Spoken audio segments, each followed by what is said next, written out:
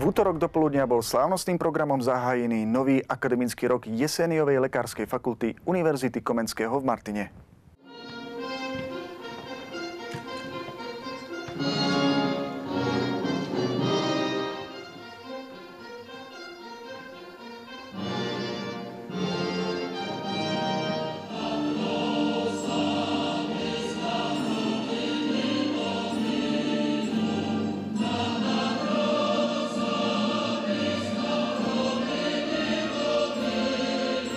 Nový akademický rok bol v aule Jeseniovej lekárskej fakulty slávnostne zahájený za prítomnosti mnohých hostí.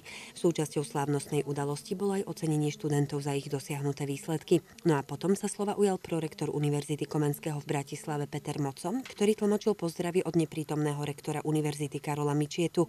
Tento si totiž práve v čase otvorenia akademického roka v Martine preberal čestný titul doktor honoris causa na Technickej univerzite vo Zvolenie. Pán rektor ma požiadal, aby som vás v jeho mene srdečne pozdravil.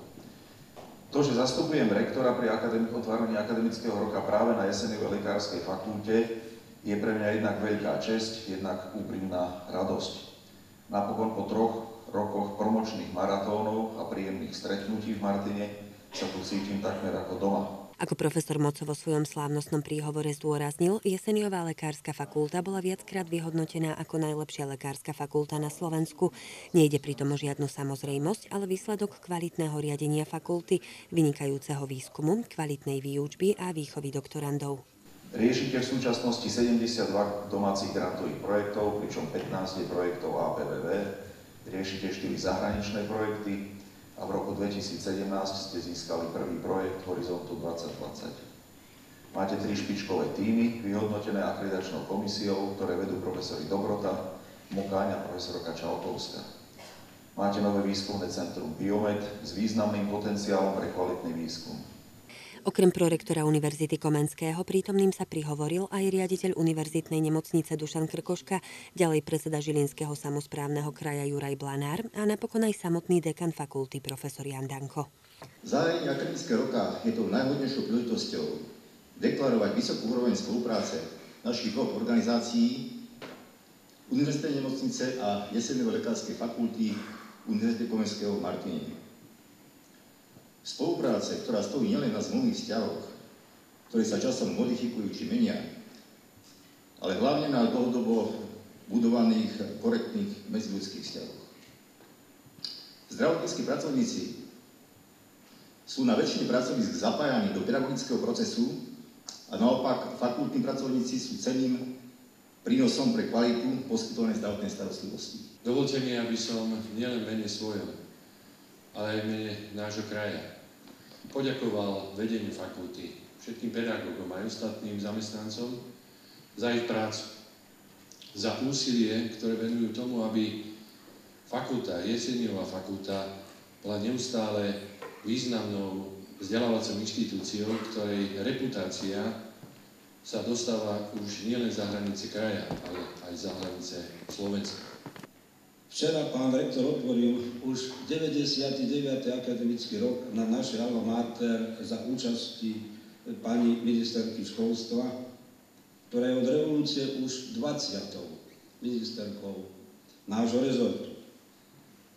Pán rektor vyzval pani ministerku na podporu vedia vzdelania a ako to už pri takýchto slávnostných prejavov býva, pani ministerka pomoc prislúbila.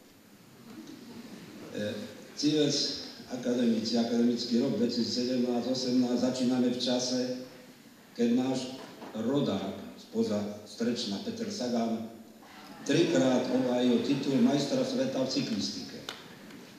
Ukázal, že aj malá krajina ako je Slovensko môže mať talenty, ktoré sú schopné poraziť v športe reprezentantov z niekoľkonásobne bohatších a väčších krajín. Prečo to dnes spomínam? Jednoducho preto, že tu je pozitívny príklad talentu, ktorý vyšiel z veľmi skromných pomerov, ale je to aj výzva pre mladých, ktorí tvrdia, že u nás sa ne, nič nedá, že treba odísť tam, kde je všetko servirované na zlatom podnose. Ako informoval dekan fakulty profesor Jan Danko, do prvého ročníka jeseniovej lekárskej fakulty sa zapísalo 119 študentov v slovenskom jazyku a 159 v jazyku anglickom. Určite ste zachytili, že zo strany spriateľnej fakulty sme kritizovali za to, že na úkor slovenských študentov príjmame zahraničných. Nie je to pravda. My máme dostatočné kapacity zvýšiť počty študentov aj v slovenskom programe. Ale pri prieskume možnosti zamestnania za uplynulý rok sme zistili len 51 voľných miest ponúk z nemocníc na celom Slovensku. Do súťaže Volleyball Lab Slovakia sa prihlásilo 56 mladých vedcov z 10 krajín, z toho 50 zo Slovenska, pričom 10 z Jeseniovej fakulty.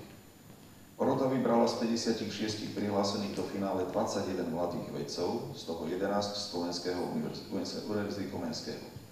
6 z týchto 11 je z Jeseniovej lekárskej fakulty. Bez preháňania úžasný výsledok a potenciál pre budúcnosť. Od školského roku 1991-1992 máte študijný program pre zahraničných študentov. Záujem o štúdium u vás je zo strany slovenských i zahraničných študentov taký, že si môžete vyberať tých najlepších.